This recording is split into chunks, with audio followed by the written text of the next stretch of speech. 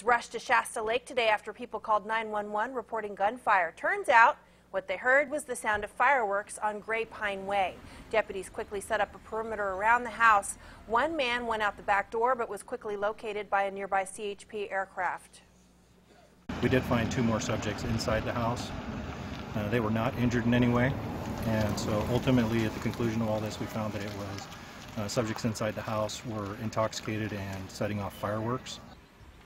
One of the men was arrested for resisting, a second was arrested for outstanding warrants, and a third was arrested for felony vandalism after kicking and damaging the door of a patrol car after he was detained.